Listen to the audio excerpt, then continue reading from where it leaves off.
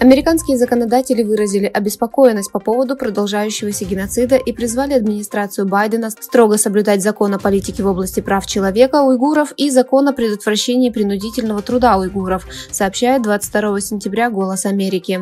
Законодатели потребовали, чтобы правительство ввело наказание в соответствии с этими законами против физических и юридических лиц, причастных к преступной деятельности уйгуров и других мусульманских этнических групп в Синьцзяне. 23 сентября 2023 года в Стамбуле начал свою работу Совет национального единства, организованная Ассоциацией образования и солидарности Восточного Туркестана. Во встрече, которая продлится три дня, принимают участие интеллектуалы Восточного Туркестана, государственные деятели, ученые, представители различных НПО, аксакалы и пионеры дела Восточного Туркестана со всего мира. На открытии также присутствовал лидер партии Великий Союз Мустафа Достичи. В своем выступлении Достичи заявил, что Турция всегда была на стороне народа Восточного Туркестана и подверг критике позицию китайской администрации в регионе. Тот факт, что институты Конфуция, которые китаизируют бесчисленное количество людей из Восточного Туркестана под эгидой образования Конфуция и стремятся распространять так называемую китайскую культуру и язык, на самом деле являются центрами шпионажа Китая в этом регионе, часто поднимается экспертами, которые проводят серьезные исследования на эту тему.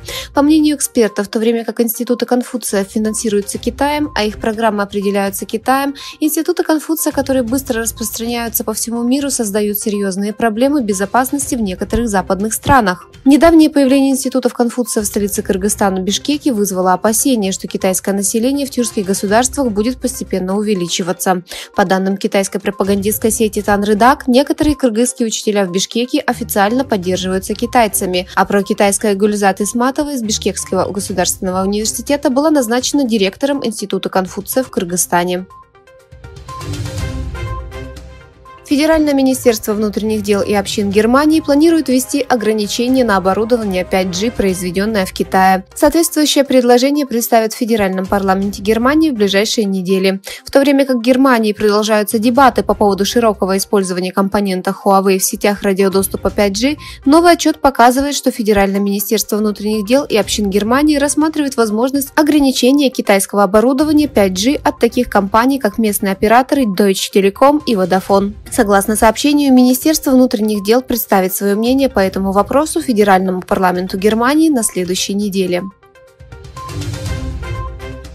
Председатель КНР Си Цзиньпин пообещал помочь президенту Сирии Башару Асаду, который находится с визитом в стране, восстановить Сирию и нарастить ее контртеррористический потенциал. Сообщается, что первый визит президента Сирии Башара Асада в Китай с начала 12-летней гражданской войны в его стране ознаменовался стратегическим партнерством между двумя странами.